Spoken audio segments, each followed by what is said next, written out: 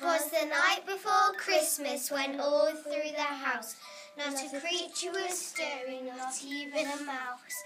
The stockings were hung by the chimney with care, in hope St. Nicholas soon would be there.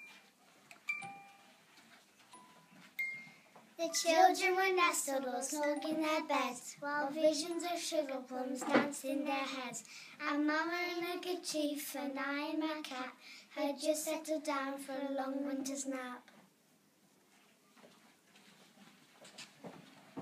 When out on the lawn there was right such a clatter, I sprang from the bed to see what was the matter.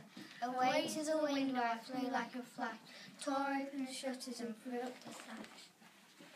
The moon on the breast of the new fallen snow gave a lust of midday to objects below, when what to my wondering eyes should appear but a miniature sleigh and eight tiny reindeer.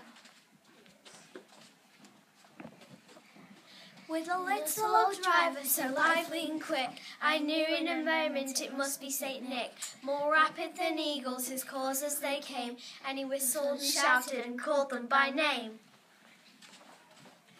Now, now Dasher, now Dancer, now Prancer and Vixen, on Comet, on Cupid, on Donner and Blitzen, to the top of the porch, to the top of the wall. Now dash away, dash away, dash away all. Leaves that before the wild hurricane fly, when they meet with an obstacle mount to the sky. So up to the housetop the coursers they flew, with a sleigh full of toys and St. Nicholas too. And then in a twinkling I heard on the roof the prancing and pawing of each little hoof. As I drew my hand and was turning around, the chimney St. Nicholas came with a bound.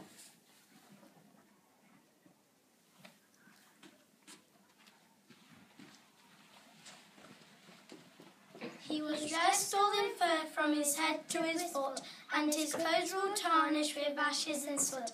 A bundle of toys he had flung on his back, and he looked like a peddler just opening his pack.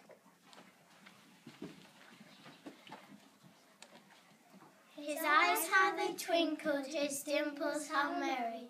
His cheeks were like roses, his nose like a cherry. His droll little mouth was drawn up like a bow, and the beard of his chin was as white as the snow. The stump of a pipe he held tight to his teeth, and the smoke circled his head like a wreath. He had a broad face and a little round belly that shook when he laughed like a bowl full of jelly. He was chubby and plump and a right jolly old elf. I laughed when I saw him in spite of myself. A wink of an eye and a twist of his head soon gave me to know that I'd nothing to dread. He spoke not a word, but went straight to his work. He filled all the stockings, and turned with a jerk, and laying his finger aside of his nose, and giving a nod up the chimney, he rose. He sprang to his sleigh as his team gave a whistle, and away they all flew like the down of a thistle.